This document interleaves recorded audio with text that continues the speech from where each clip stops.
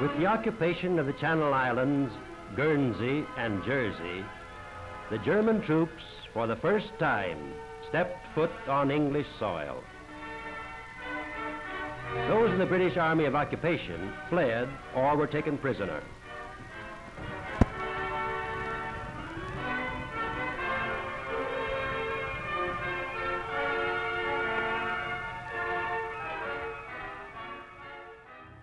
Yesterday I received an important new collection of originals and I'm about as excited as a child on Christmas morning. It's a marvelous private collection from a German soldier that includes this rare English language newsreel. That isn't odd because he was stationed on the Channel Island of Guernsey during 1943, which was the only British territory occupied during the war. One of my subscribers asked to see more of the originals that I used to make the videos, and this is a good opportunity.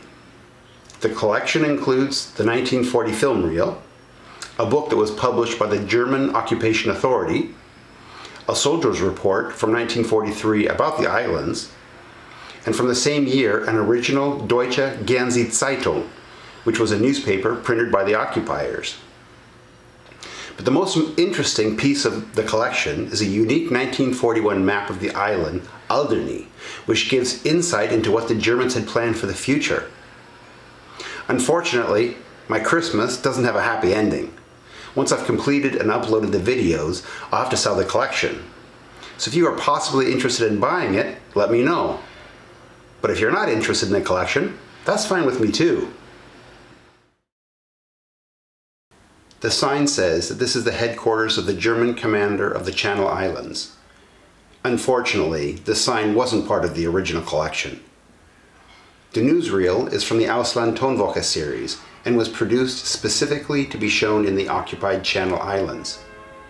It was produced in April of 1940 and has a runtime of 6 minutes and 15 seconds. We'll be watching more of the reel and footage from other sources in the videos I produce.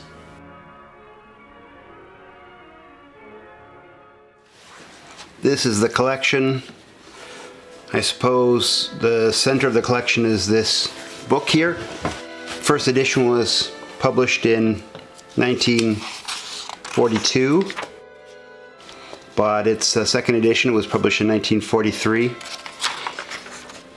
It covers the, the populations, it talks about the nature, talks about the history, talks about the economy,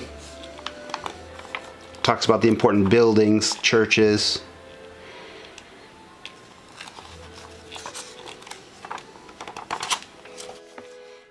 So there's 140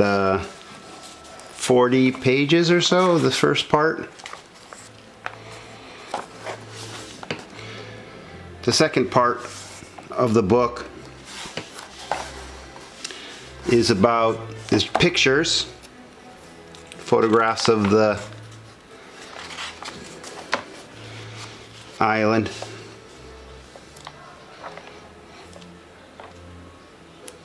They seem to all be of pre-German times. I don't see any occupying troop pictures or anything like this. It's about history, culture, again.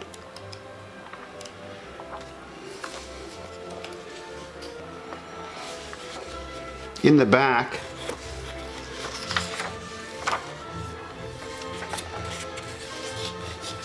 we have some maps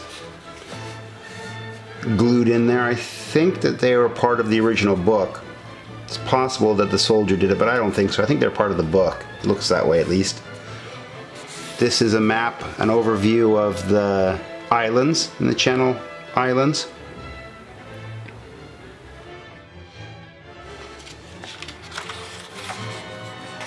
Here we have a large map of Guernsey, the largest island in the island chain. It's the same, a second one of exactly the same was added to the collection. I don't know.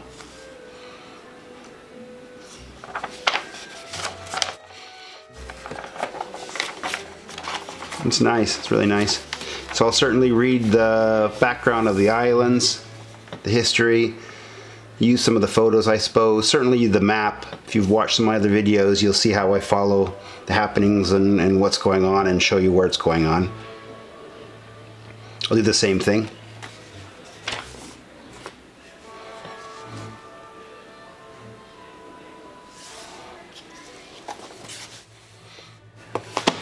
Next we have uh, a 1943 report written by a soldier on the island Jersey.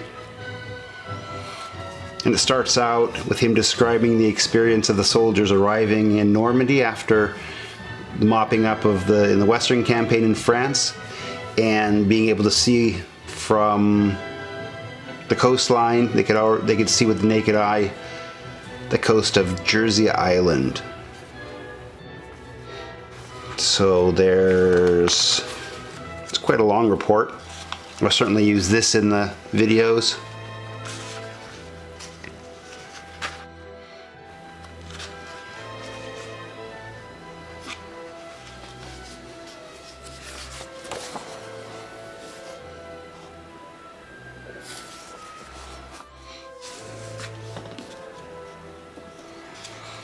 Well, we've got two modern newspapers. This one's from 1971, Die Zeit, which is the Times.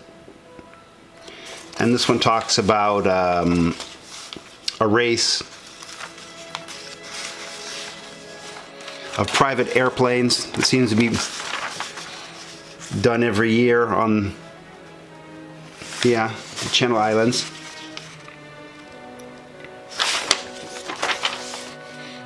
Here we have another article from a, newspaper. I think it's also from the 70s, probably around the same time period. It talks about a soldier going back to look at Soldiers Cemetery, where some of his comrades were buried.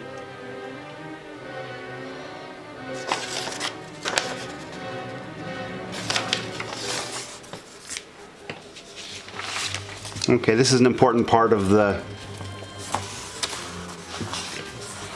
collection.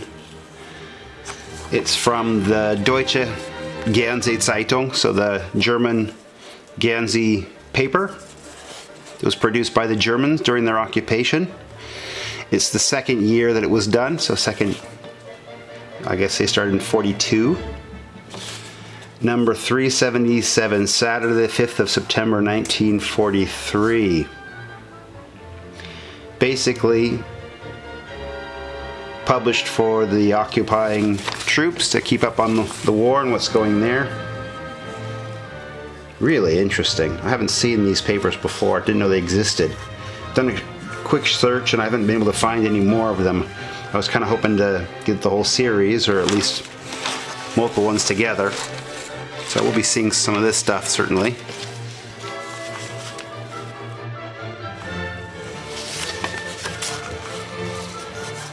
Uh, it's fascinating. Okay, and then finally, this wonderful 1941 map that shows the Channel Island Alderney.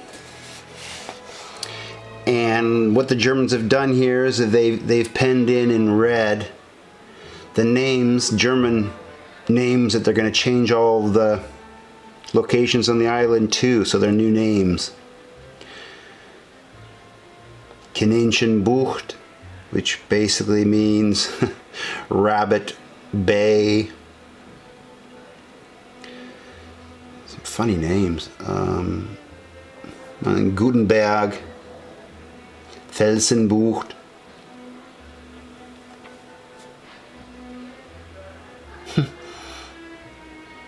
Anyways, it's fascinating, it's interesting. These names obviously were never used. It never happened and it's kind of it's lost to history this. But the collection's great. And I look forward to making the videos. Don't forget to subscribe